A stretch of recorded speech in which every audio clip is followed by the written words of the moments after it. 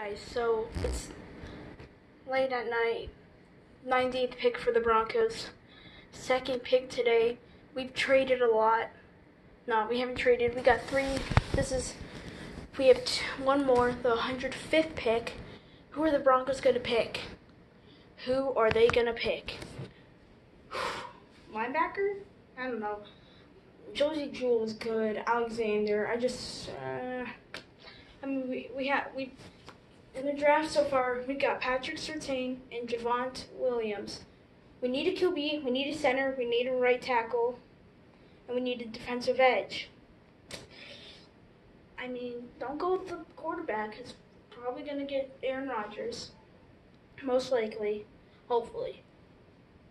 And go with an offensive lineman so he can help Rodgers not get sacked. We have still good offense. You have Garett Bolles, who's pretty good. All right, come on. Who are they gonna select? NFL draft.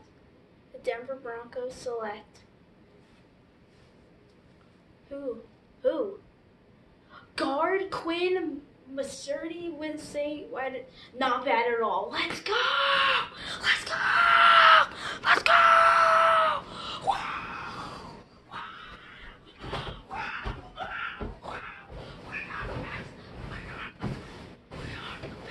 Let's go!